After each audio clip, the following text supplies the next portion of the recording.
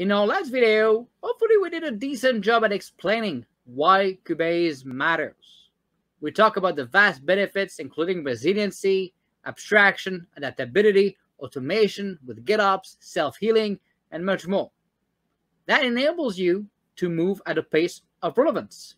Now, I'm going to try to make a case today that's going to get me into some hot waters, okay? So bear with me.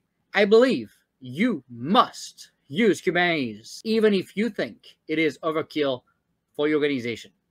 So before you crucify me, please watch the video and ensure you get my thoughts first and comments below what your thoughts are. Now, if you're trying to compete in our modern days and you want to enable your organization to innovate, you cannot do this in a vacuum. You cannot do this at the detriment also of proper baked-in security. But modern cyber posture is a moving target. No pun intended. In fact, one of the pillar of modern cyber posture is moving target defense. Leveraging Kubernetes as a uniform orchestration stack will remove impediment and accelerate your implementation of cyber capabilities, but more importantly, jumpstart your zero trust implementation and enable your continuous monitoring with prevention enforcement in runtime. The fact is, teams struggle to find the balance between cybersecurity and software innovation. The Air Force recently made a configuration change which led the cyber teams to push new cybersecurity controls at the expense of user experience. That killed the innovation momentum of dozens of teams until it was reverted. It's always a balancing act for that to work, but you also must be able to react to zero days in a timely fashion, right? So I will show you today that by orchestrating your crown jewel and critical workload on Kubernetes, you will be able to find that balance. So let's look at some of the key aspects and key benefits in cybersecurity as to why you must use Kubernetes. First of all, thanks to a service mesh on top of Kubernetes, you can implement a distributed zero trust enforcement point using sidecar containers and enable mutual TLS traffic enforcement with whitelist to limit your east-west traffic. With your ingress controller, you can also control your ingress and egress and prevent exfiltration of data, as well as control the whitelisting of your internet-facing traffic. More importantly, as Kubernetes as your uniform orchestration stack, you can bring a cohesive cybersecurity stack and enable tracing, centralized logs and telemetry, so you can push those to your SIEM and SOARs. Using the Kubernetes admission controller, you can control which container run on your stack, check their provenance, which registry they're coming from, whether they're hardened or not, their signatures, and integrity with checksums. You can ensure that software bill of material SBOM are present, as well as leveraging container security runtime to continuously scan for CVEs and for behavior drift as well. Let's take the example of a recent critical vulnerability with Log4j. You can leverage Kubernetes to assess which container are running on your stack. That alone gives you a full picture of your software assets. That's a necessary foundation for any cyber defense posture.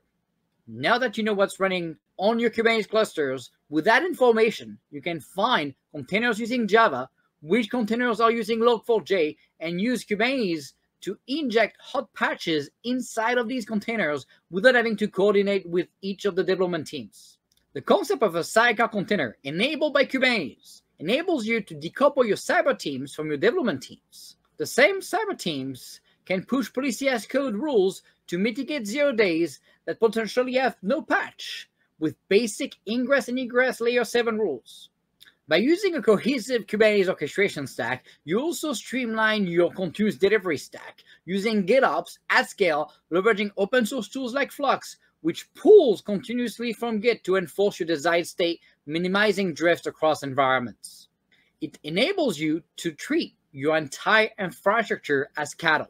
That includes your Kubernetes layer and nodes to increase your cyber posture.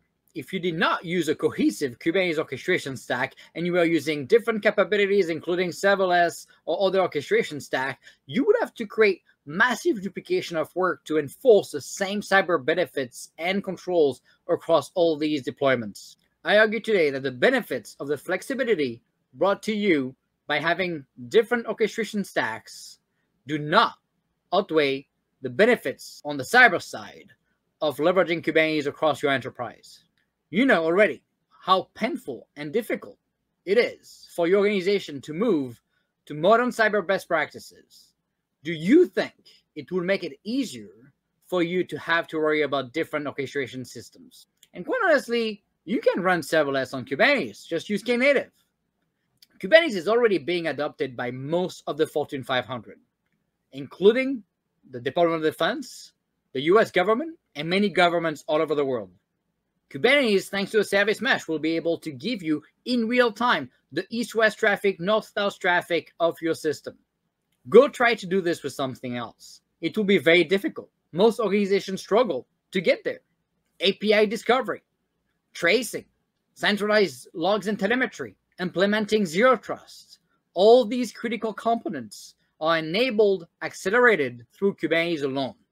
You will not find a better investment of time and money to train and equip your teams to finally understand the importance of Kubernetes. So, to summarize, Kubernetes enables you to check all of the cyber boxes zero trust, software bill of material, continuous monitoring, centralized logs and telemetry, real time understanding of your assets, real time control of your assets' provenance and integrity. With that, if that doesn't convince you, I don't know what will.